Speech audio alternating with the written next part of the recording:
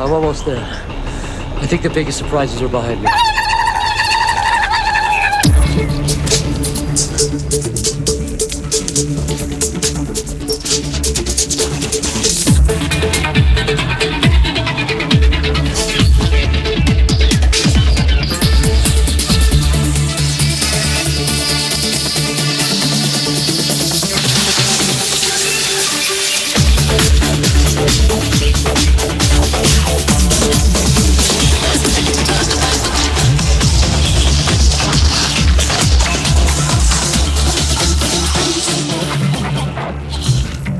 Thank